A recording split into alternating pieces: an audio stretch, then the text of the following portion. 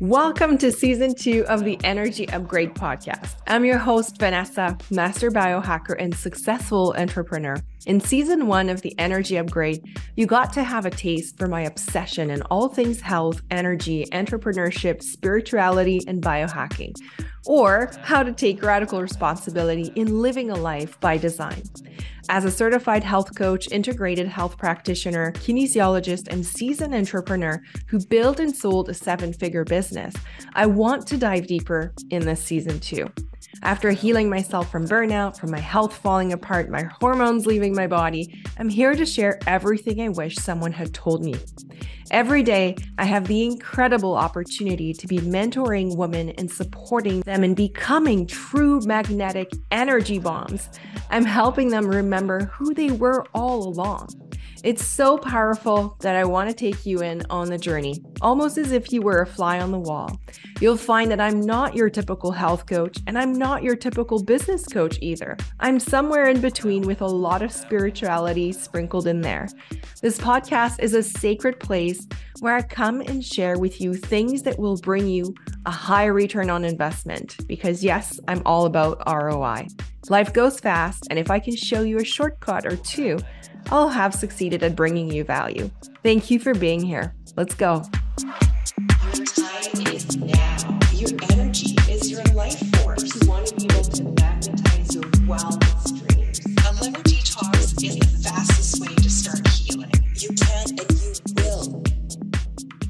Welcome back to another episode of the Energy Upgrade. This is Vanessa Grutman, your host, and today I have a very special guest with me. I'm excited to welcome Marjorie Tong from um, Juunaday.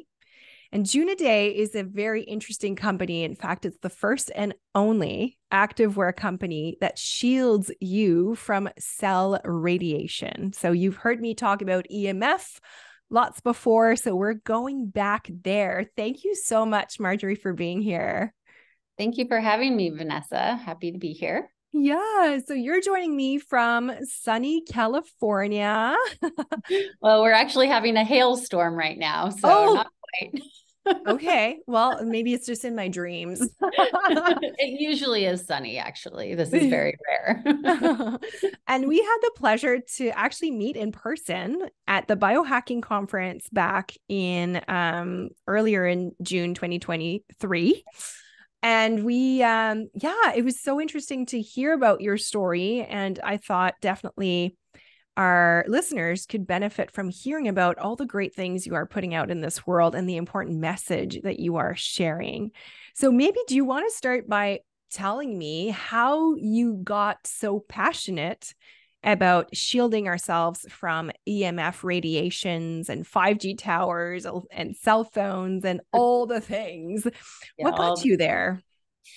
Yeah. So um, I was working a corporate job for about 15 years. And of course, when COVID hit and I was suddenly at home working eight hours a day with a laptop on my lap. And um, it didn't take long for me to develop some very weird health um, symptoms.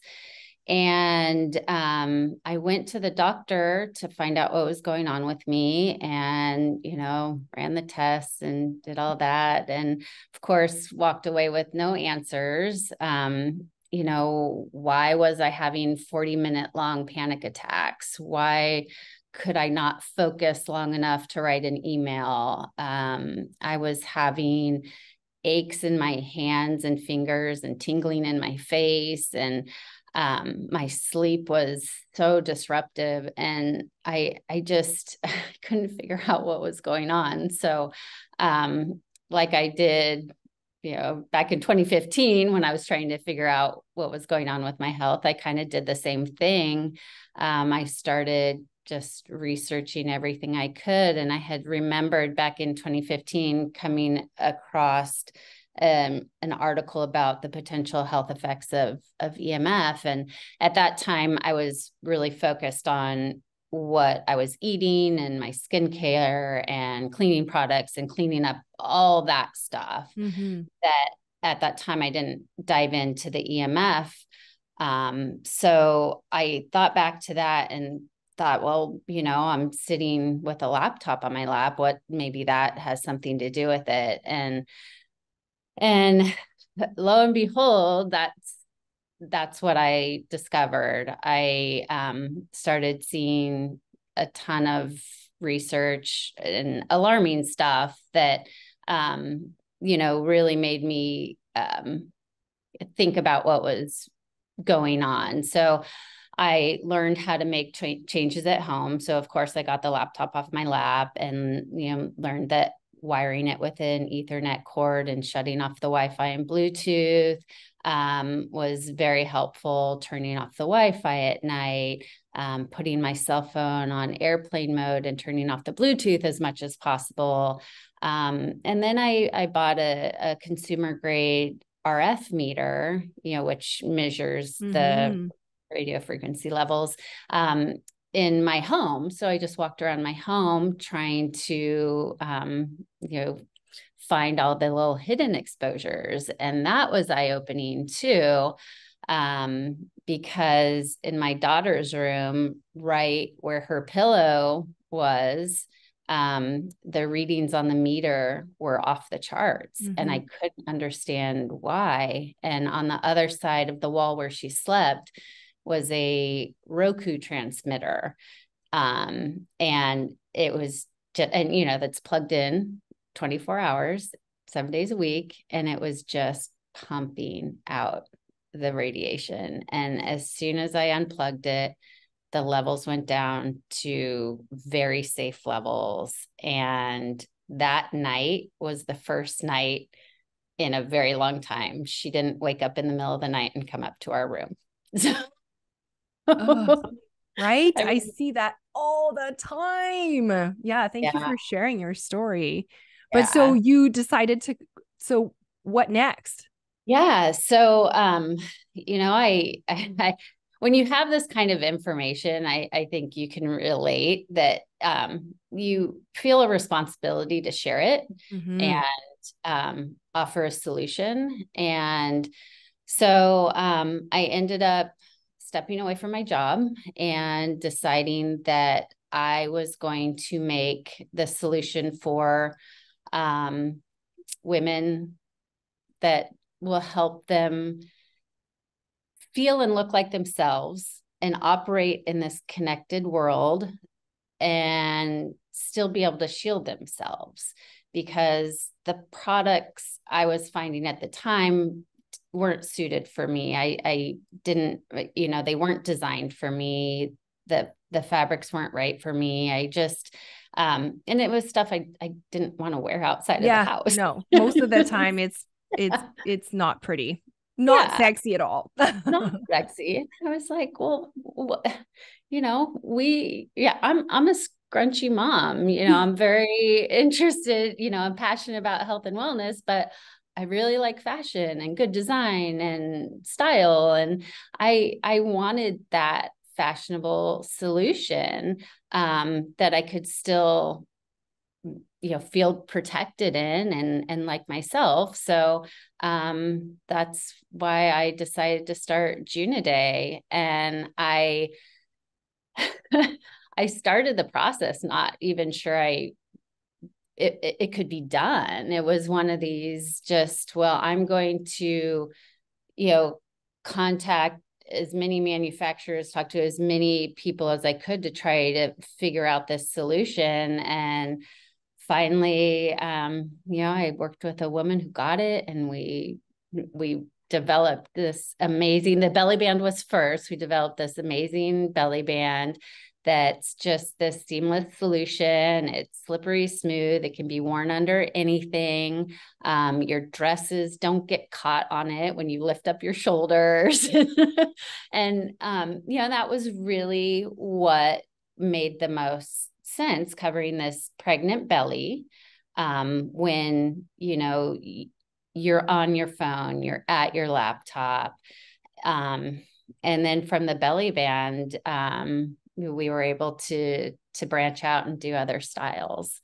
Um, and the reason I I really wanted to focus first on the pregnant belly is because you know in my research um, there there are a lot of studies that were alarming um, mm-hmm. but i think one of the most um, glaring things that stood out particularly with a, a pregnant belly is that um, radiation absorbs at a higher rate with more fluid the the larger the volume of fluid the larger the absorption rate mm. of radiation and so when you think about a pregnant belly at about 34 weeks, you're carrying about 20 fluid ounces in your belly alone, and you don't have, um, you know, like your skull, you don't have the bone covering your belly, which doesn't absorb radiation mm-hmm. at the mm-hmm. same rate as fluids do.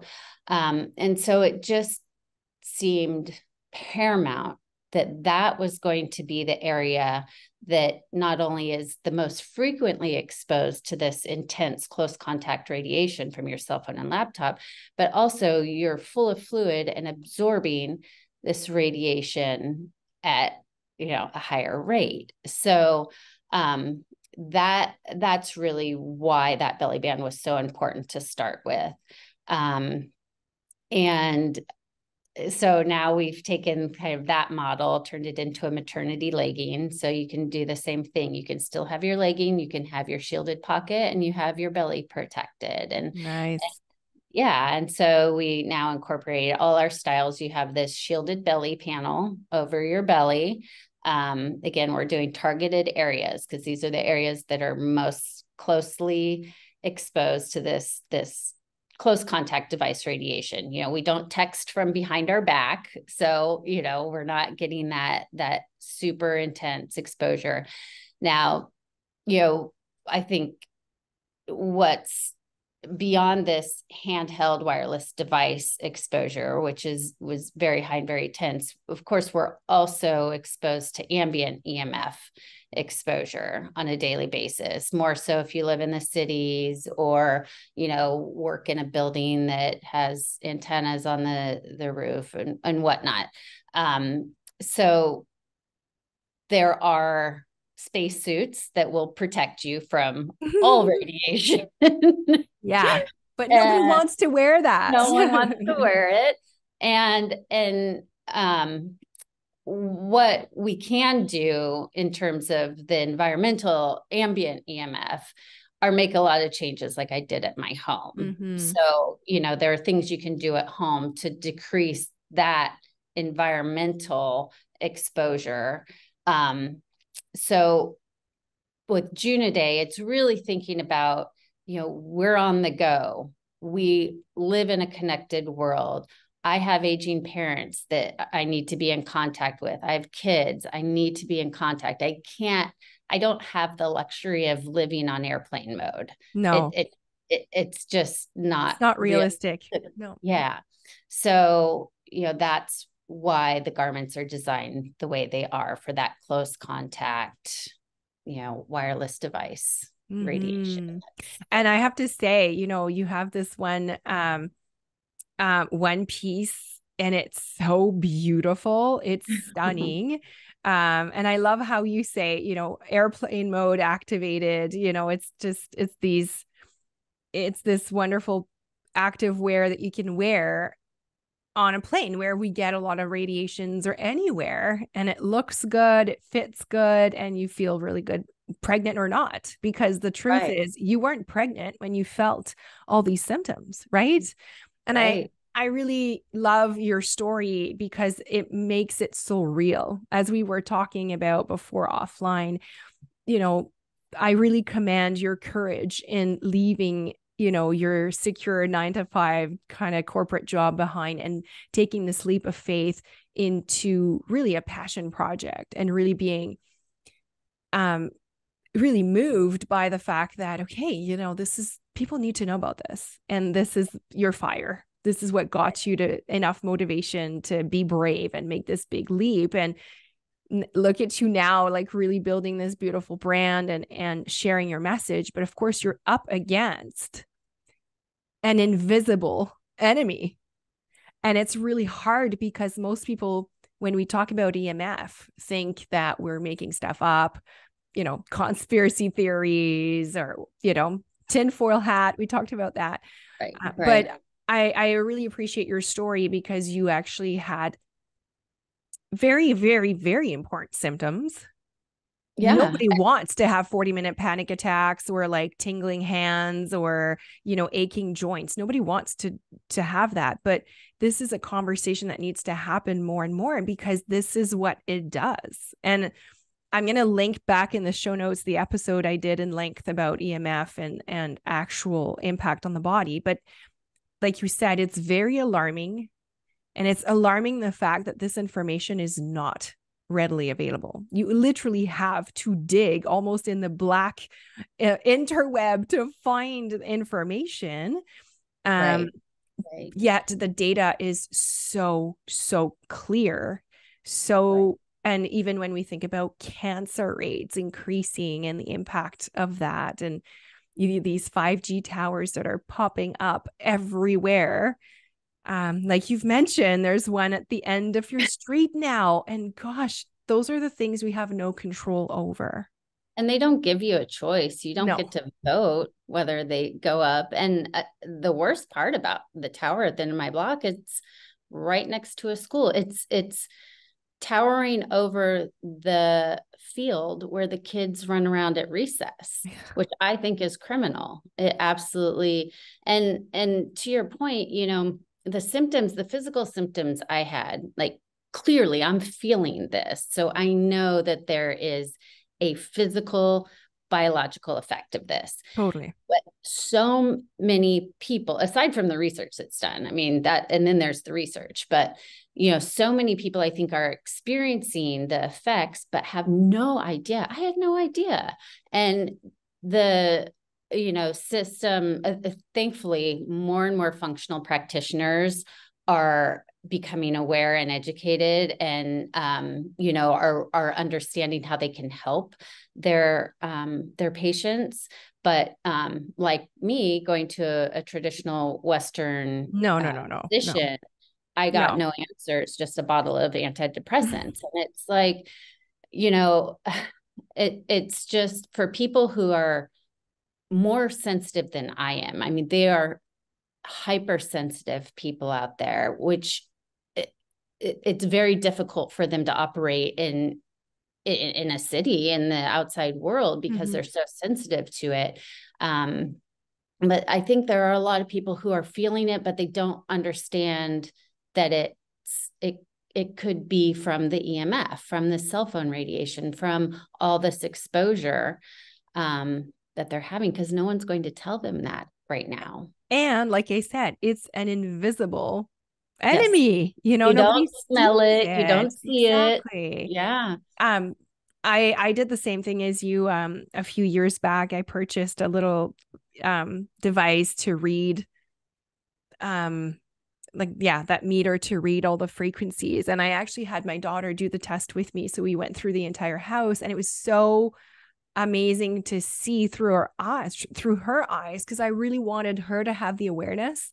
Yeah. Um and you know she made that a little school project and it was so cool but yeah like even just any electrical outlet also has some and my daughter the reason why i wanted her to do that is because i know i've always known she's more sensitive to it and like you said some people are more sensitive some people are less i think it probably has to do also with i often refer to the rain barrel so the amount of toxins that are already in your body um, but everybody is impacted, that's for sure. Whether or not you're feeling the impact every day, it might take longer to see the impact. Um, but I know she was, and and that's why for us it became non-negotiable. Like we have a timer on our Wi-Fi. We have, um, I was telling you before, um, my laptop is plugged in into an Ethernet cable. It's like a hundred feet cable that goes down to our router in the back room in the basement. It's like hidden far away. And I have this taped on my hardwood floor and through my living room. And, you know, most people would be like, you're crazy. And um, I'm, I sit very well with that label now. And I don't care because I don't want, I'm, I run an online business. I'm a hundred percent of the time in front of a device. And so for me, if I can try to shield, if I can have control where I can, I, I will make those decisions. And that's and that's where I appreciate what you're doing because back to what you said, we we can't shut it off. Unfortunately, our lifestyle now is done in a way that we are, you know, our businesses are online and that's just the nature of it. So I appreciate, you know, entrepreneurs like you who come out with innovative products that are there to support this lifestyle, but also make sure that we're not, our health and wellness is not suffering. Um, right. Are you are you launching a kids line soon? no, no, no. I'm I'm focusing on women. Um, I think through um, women, through moms especially, um, we are the ones who can educate and protect our children. Um, I, I'm not in the business of kids products. I think that's a whole arena that oh um, for sure it's, yeah it's difficult it's difficult but you know yeah. like you mentioned unfortunately now they the amount of exposure they get at school like yeah. i it like every time i go to the school and we have we are in a small village where I live, where we we have we are 1200 people in our village and in the school there's 90 kids okay so we're so lucky because it is very small and it's more traditional but they still have these gigantic screens that make up the majority of the wall that and that's that's what they learn on and it's on on all the time and the wi-fi is like blasting through that. Um, and you know, the other day my my son showed me his classroom and he was so excited to tell me he was fr- front row like the first one right in front of the tv and i i was just you know trying to breathe. I'm like okay. But yeah. i i wouldn't be surprised if in a few years from now and i don't think we're too far off you know you've referred to the word criminal before but i think there's going to be a lot more awareness and hopefully we're going to have a bit more control on the, that kind of exposure because and we know in high school teenagers are 100% of the time on yeah. their laptops and that's where that's how they're learning now and that's when you know the, your youthful reproductive parts are you know developing and we're yeah. we're born with you know the set of eggs that we're born with and um, it they're worth protecting as much as we can from all sorts of environmental exposures. And um, you know it, it, in terms of schools and kids um, so what we what we do um, devices are only for when we travel. Um, yes, and if they are using a device, it has to be on airplane mode with the Bluetooth turned off. Yep. So everything has to be downloaded ahead of time. We don't use devices in the car because cars are like metal microwaves, you know, mm-hmm. driving on the street. If the the devices are in there, always searching for a signal, they're always working.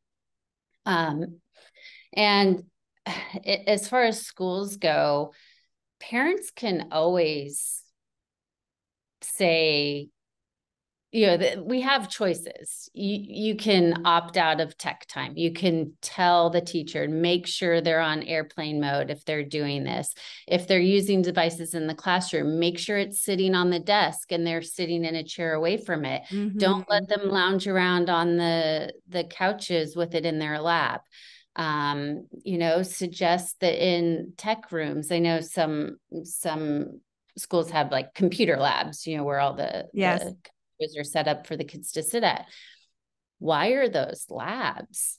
Yes. The connection's going to be more reliable and you know it's it's a win-win exactly. and so as long as we as parents are talking about this and speaking up and educating i, I mean it, it puts yes it puts the burden on us to educate places where we think that they should already know this stuff mm-hmm. because you know the safety of our children are in their hands during the school day um, but it it's still not widely accepted as a problem um, So, um, you know, the more that we can talk about it and educate our educators, you know, that's yeah, exactly. you know, that that will um, always create change. Mm-hmm. You know, mm-hmm. mom, moms are pretty powerful.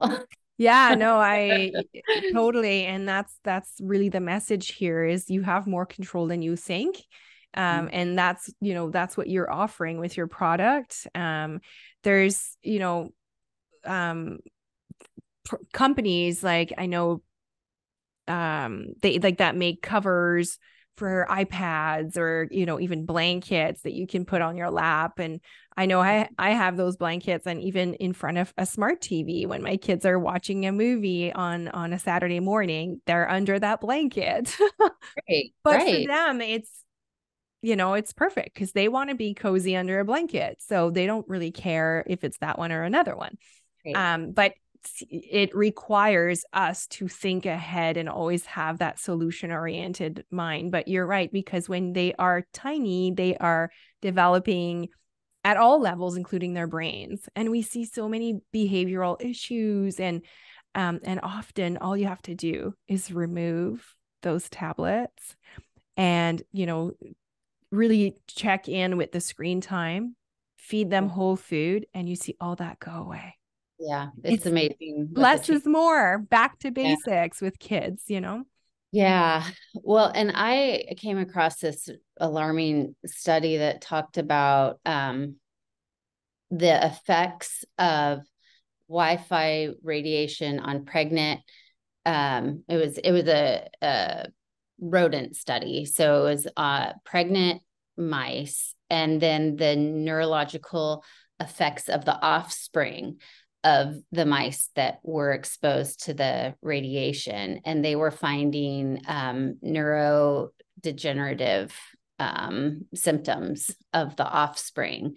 And when we think about the rise in ADHD and autism and all these sorts of things that our kids are experiencing, which are always a symptom, uh, not, excuse me, not always a symptom, but what we're seeing is that all of these environmental factors from glyphosate and mm-hmm. you know polluted water and et cetera et cetera um, you know having this one more toxic exposure is is you know it's filling up the bucket before the babies are born when they're you know infants when they're children i mean it's it's almost like you know they're not giving room to breathe they don't have a have a chance at a toxin free beginning and so when i read studies like this it's it's just you know tells me that it, it's always best to remove as many toxins as possible, including this EMF